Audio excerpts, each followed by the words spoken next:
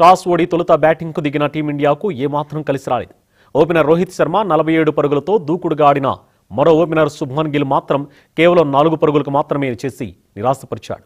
వన్డౌన్లో వచ్చిన కోహ్లీ యాభై నాలుగు పరుగులు చేసి అవుట్ అయ్యాడు. ఇక శ్రేయాస్ అయ్యర్ నాలుగు పరుగులు చేసి పెవిలియన్ చేరాడు. మరో ఎండ్లో కేఎల్ రాహుల్ ఒంటరి పోరాటం చేశాడు. అరవై ఆరు పరుగులు చేసి స్టార్క్ బౌలింగ్లో కీపర్కు క్యాచ్ ఇచ్చి అవుట్ అయ్యాడు. ఇక సూర్యకుమార్ ఎప్పటిలాగే నిరాశపరిచాడు. కేవలం పద్దెనిమిది పరుగులు మాత్రమే చేసి అభిమానుల్ని తీవ్ర నిరాశపరిచాడు.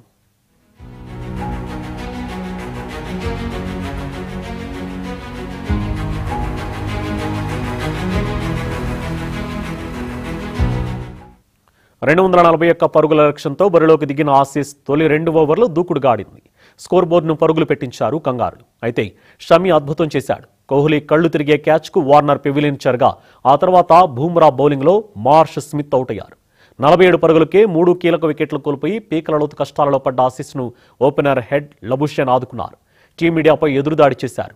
హెడ్ దాటిగా బ్యాటింగ్ చేయగా లబుషేన్ నిదానంగా స్కోర్ బోర్డును పెంచాడు. హెడ్ సెంచరీతో సత్తా చాటగా లబుషేన్ అర్ధ సెంచరీతో ఆసీస్ను విజయ తీరాలకు చేర్చారు.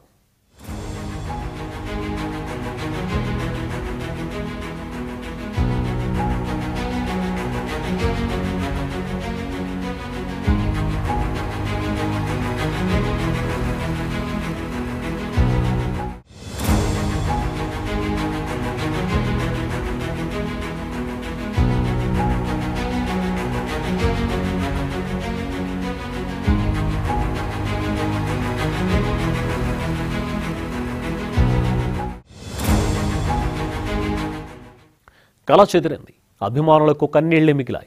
రెండు వేల మూడు వరల్డ్ కప్ ఓటమి రివెంజ్ కూడా తీరలేదు. అభిమానుల ఆశలన్నీ అడియాసలయ్యాయి.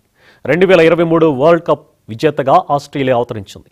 ఫైనల్ పోర్లో టీమిండియాపై ఆసిస్ ఘన విజయం సాధించింది.